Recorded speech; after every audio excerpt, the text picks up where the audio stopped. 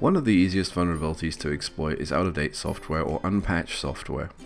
So it's always a good idea to get rid of software that you're not using to reduce the risk of that happening.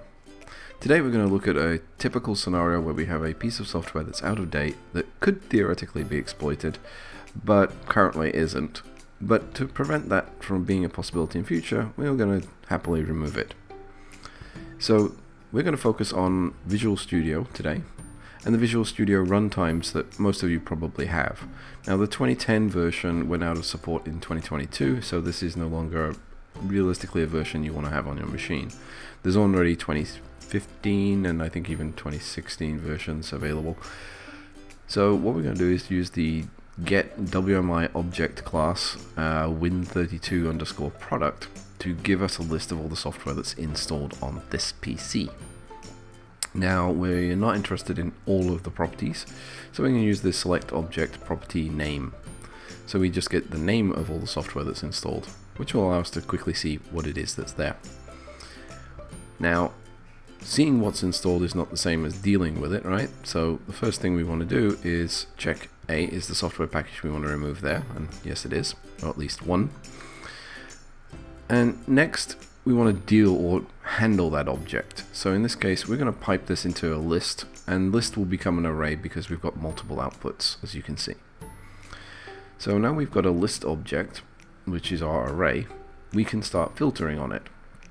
And I want to show you what happens with that, because you this is actually a very good package for this as an example because of the naming convention, right? You have a C++. And C++ is a terrible thing in PowerShell and frankly a lot of other languages too because plus plus is a command under normal circumstances. It's like multiplication. So having it in a string always upsets.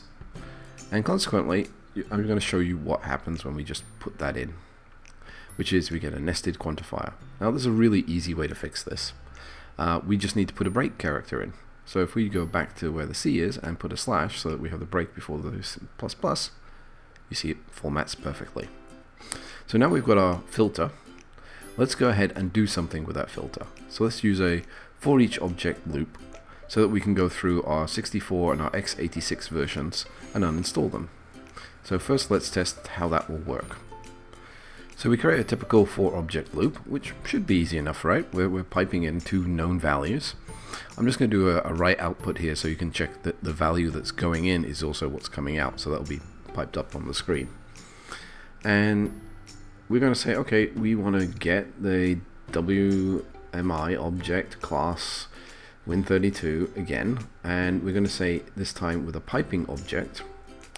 So we say where object dollar sign underscore dot name equals and then we're going to do the pipe that we had in so since we're pushing a for object our for object comes in as the dollar sign underscore so some of you who are following along might realize that wait if I'm getting an output of dollar sign from the for loop and I'm getting an output of dollar sign from the get WMI in the pipeline what's going to happen well, the answer is, frankly, not a lot.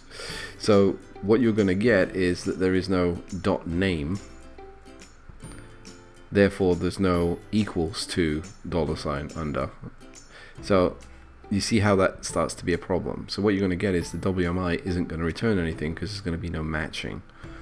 Because there's no first variable to match against the second variable. But just to prove a point, we're going to run it. So that's our write output which tells us what went in, but our WMI object is not going to return anything. So that's the problem. This is an easy fix. So if we change that round, then there's more than one way of doing this, but I'm just going to show you probably the easier one, which is we switch it across to a for each in loop. So we're going to change all our variables to an i for a second, and we say for each i in, and then we say there's our filtered objects and then we just close that off same thing as we had before just we're changing the i in places and you see now we have a name which is our write output and then we have our identifiers our vendor our classes so this is the WMI object coming back So we actually now have output. Now, from that output, we want to go and create an object that we can use because objects have also actions around them. So let's first get our WMI object into a variable. So now it's going to go into our uninstall and the uninstall will just simply become an object with multiple parameters and it will no longer have an output because we're piping it in there. So we have an uninstall variable. And what can we do with our uninstall variable? Well, our uninstall variable has classes, it has functions and things that we can do with it. And in hindsight, I realized that probably should have called it something else because um, we're going to have uninstall dot uninstall here. But the uninstall is a class, and we can tell it, hey, do this action. So a bit like changing the case in certain elements of PowerShell, or changing to string or to array. This object has a to uh, dot uninstall option, and when it runs, it's going to uninstall the software, and we can see it gives a return value of zero. So that return value means successful. There was no error. So what's happened is it's uninstalled our two software programs. Now, there is another way of handling this, but this will work fine for 99.9% .9 of cases, because you may get other return codes if you want to filter the return codes. Now we're just going to go and get a list of software once more, and we're going to filter our list of software to see if it has in fact been removed. And as you can see, we no longer get an output based on our previous filter. So the software has been successfully uninstalled. Now if you're using invoke expression or invoke command or even ps session, you can now use this on a grand scale to uninstall software from your machines. And that concludes this video.